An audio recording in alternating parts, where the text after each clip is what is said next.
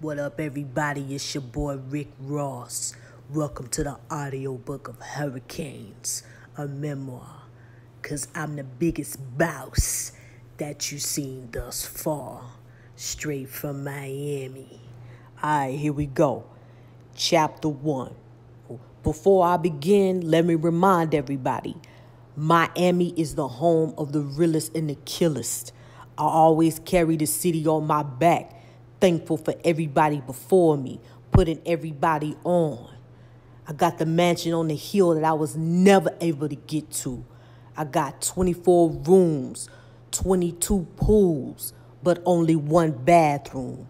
It keeps me humble. It keeps me focused because I'm Rick Ross, Ricky the Boss, the biggest boss that you've seen thus far. All right, here we go. Chapter one. Wait, hold up. I'm thirsty. Hold up. Get some of that real water.